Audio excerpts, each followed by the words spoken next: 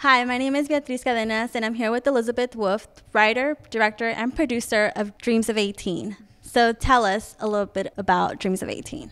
I like to write poetry, and that's the way that I tell stories. I just sat and I hid out in the library and I wrote this piece, just honestly and truthfully from the heart.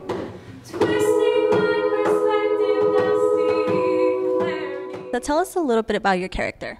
Um, so her name is Mallory, and she is a freshman at Berkeley. And when finals week ro- rolls around, she decides to leave and quit, and um, just like got really overwhelmed by all of those little adjustments that we all uh, went through freshman year, first semester. And she decides, you know what, I need to make a new decision and um, find home somewhere else. Is there any song in the musical that you identify with the most?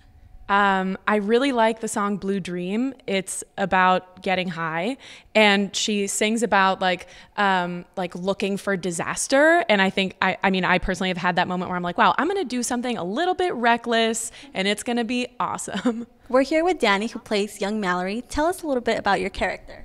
She is just showing a contrast of who Mallory used to be and who Mallory is now. Because um, Mallory now is pretty jaded and fed up, and young Mallory is full of hope and life and excited about everything. So that's that's young Mallory's goal in the show.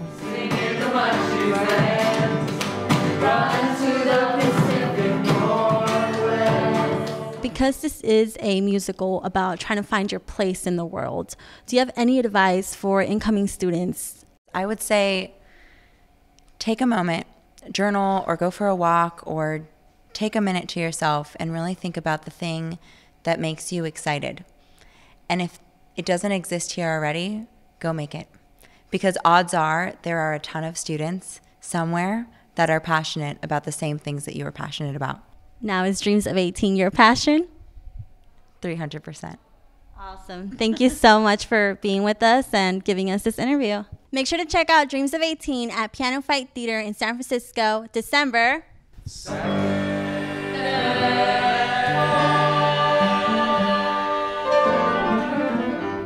My name is Beatriz Cadenas, and this is Dreams of 18. For the most part, they all work with the theater department here at Cal, so we kind of have a similar language, which is nice.